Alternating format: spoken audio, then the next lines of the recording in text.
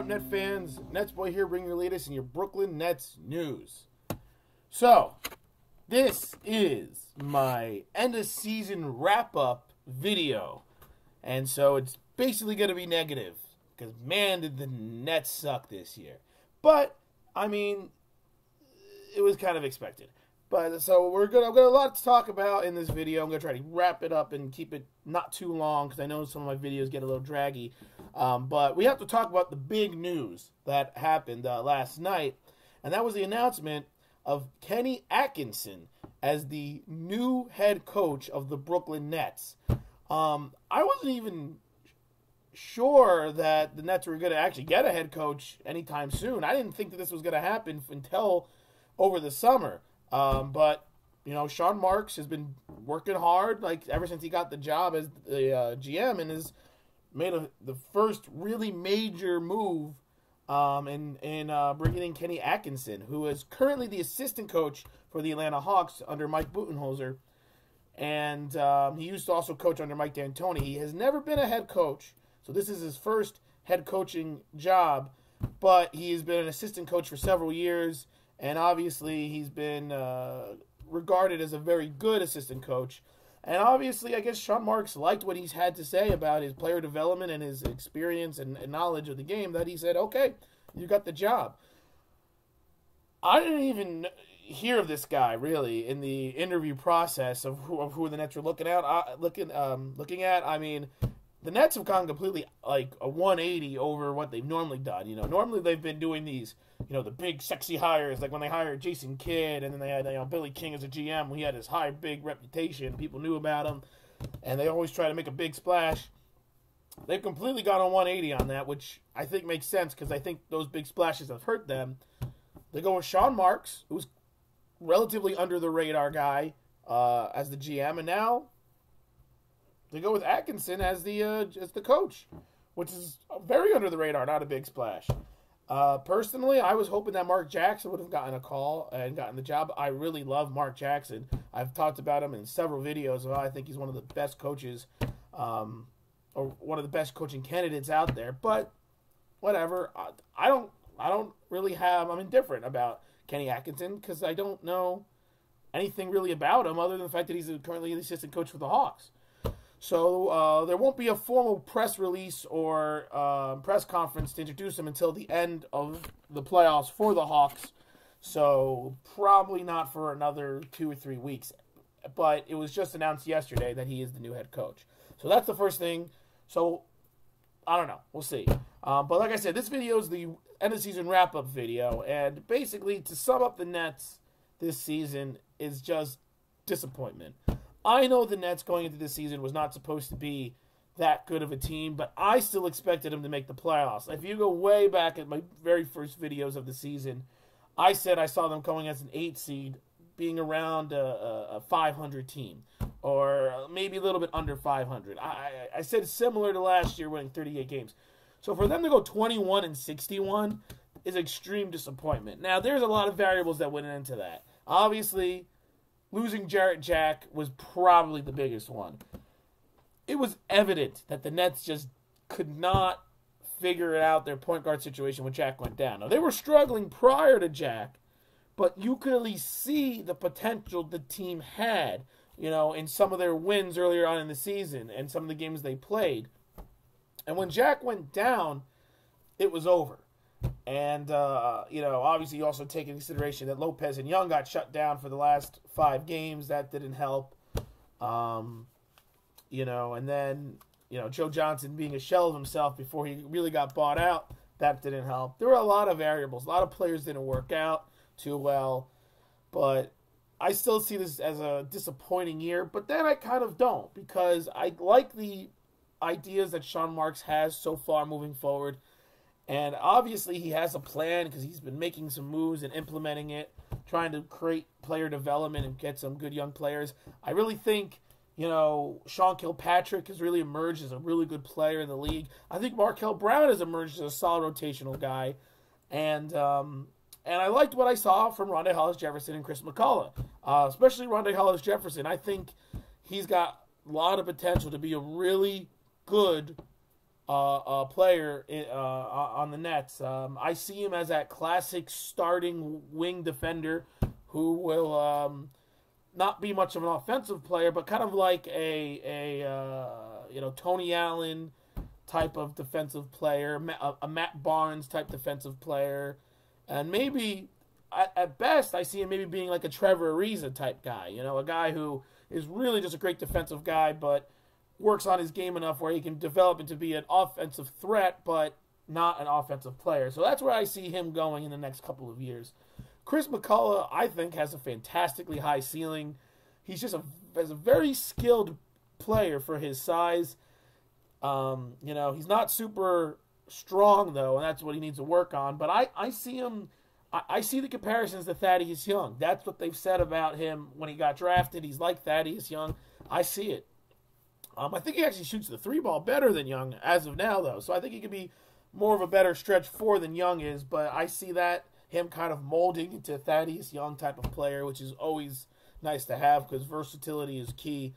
Um, so those two guys, fantastic this year. I, I give those guys well, I don't want to say fantastic because, you know, but I'm optimistic about their development. Bojan Bogdanovic, you know, he had that one great, like, 44 point performance. It was ridiculous. Um, but I don't know. He is definitely a rotational player, but it's like he's so inconsistent. You don't know what you're getting out of him. It's a little frustrating, but you know, he had a hot and cold season. And Thomas Robinson, same way. Thomas Robinson, towards the end of the season, though, was playing phenomenally, averaging like 17 rebounds and, and like 16 points, like the last 10 games. Um, you know, so I'm not sure exactly where he's going. Shane Larkin, up and down season as well. A lot of up and downs for these players individually. But there are players that are on my suck list and crap list and useless list. Wayne Ellington, useless. I know he had some games where he was decent. Useless.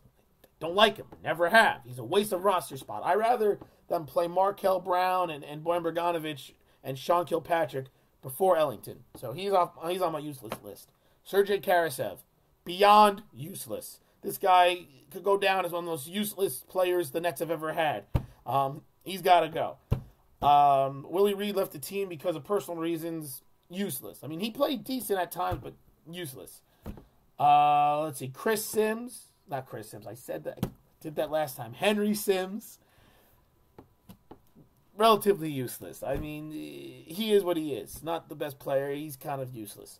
Uh, let's see, who else? Donald Sloan, useless. He's on. He had some good games as well, but he was ultimately useless. So those guys are on my useless list. Um, you know, Thomas, like I said, Thomas Robinson and Shane Larkin and Markel Brown, their guys are all there. They were borderline useful, but they have to develop more. So when I look back at this season, you see why the Nets did struggle, and it was more about development. And it does make me a little optimistic from some of the things we can take away.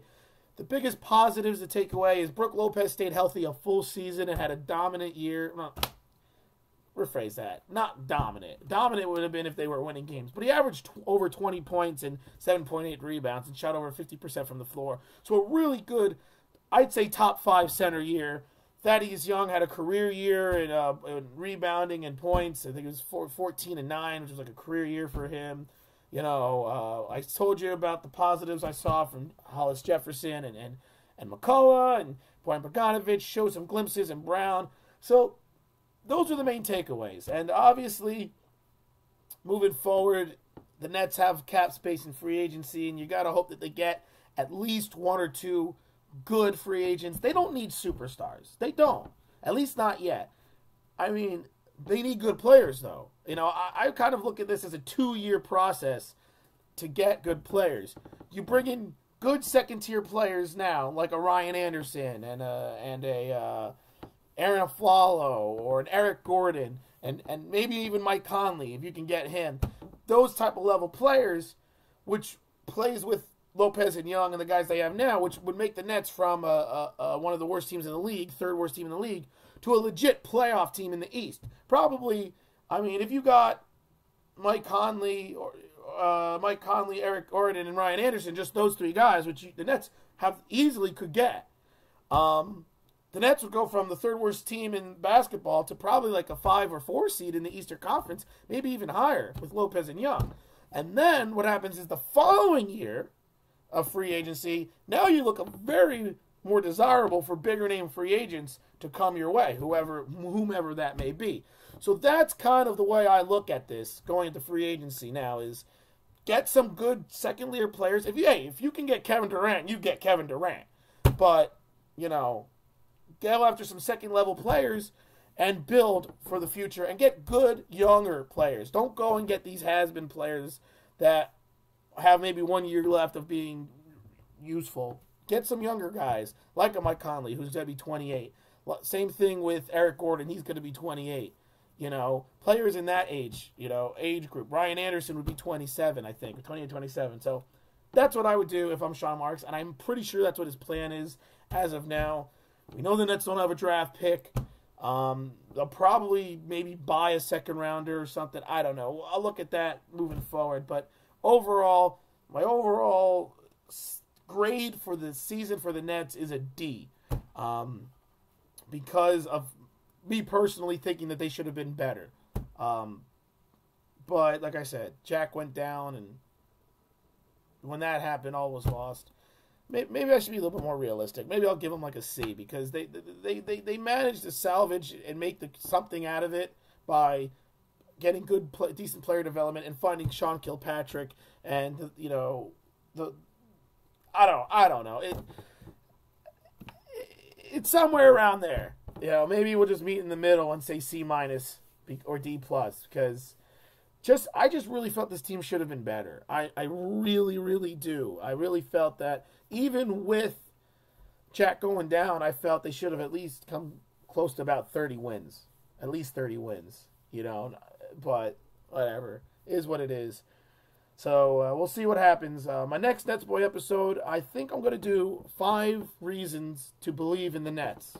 Just to end on an op- optimistic note, because things have been very negative and and uh, and uh, pessimistic. So that'll probably be my next video. Um, of course, if the Nets do any other moves or something like trade a player or do anything else, um, I'll probably have a video about that. But for now, I see only one more Nets Boy episode for this year, and that would be my top five reasons to believe, which will be next week's video probably, or so on and so forth. Um, we are in the during the NBA playoffs right now. I'm not going to really talk anything about other than the fact that, like everyone, I see Warriors Cavs in the finals like last year, and I see the Warriors winning the whole thing. That's all I'm going to say about that. And so keep your eyes open for the next Nets boy. And until then, this is Nets boy shaking off this season and signing off.